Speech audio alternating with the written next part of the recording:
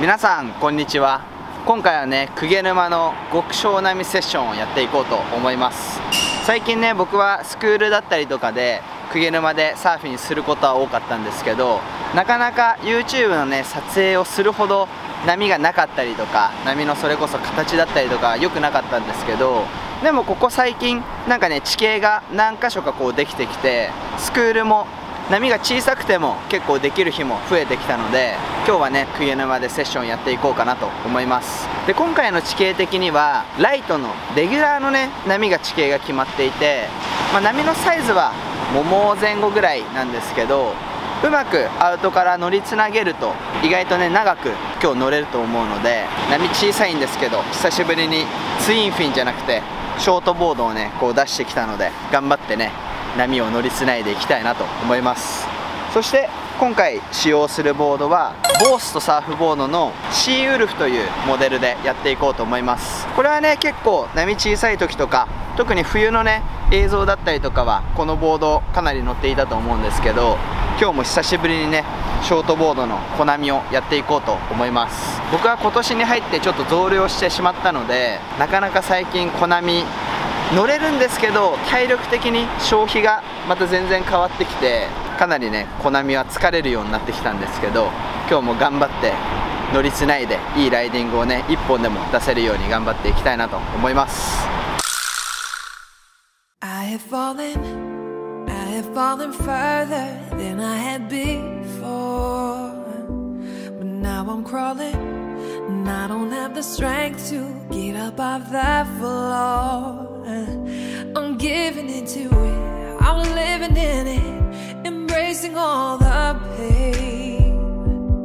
Can't run from it, I can't numb it, I won't medicate.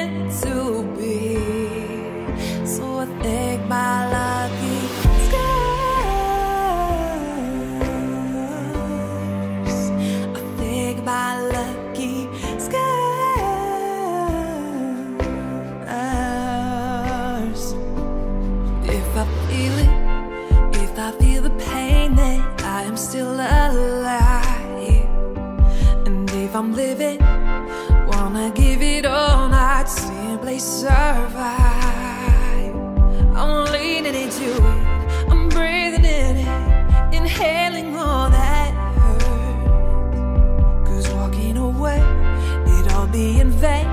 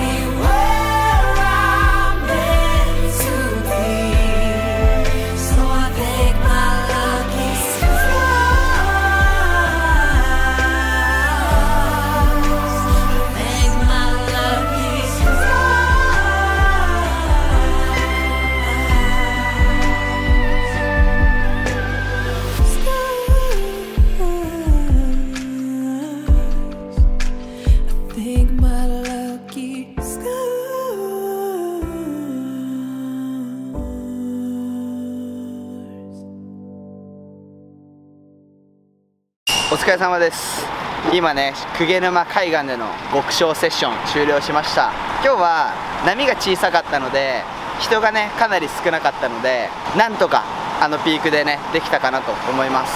最近鵠沼はあのピークがあってレギュラーの人だったりとかはかなりフロントサイドで楽しめるコンディションが続いていて波は小さいんですけどもうほんと膝ぐらいでもずっと地形があるのでかなりねレッスンだったりとかそれこそ一般のねサーファーの人たちも楽しんでるピークがあります。今日ねすごく感じたことがあって今日は波がゆっくり割れてくる波というかそれこそ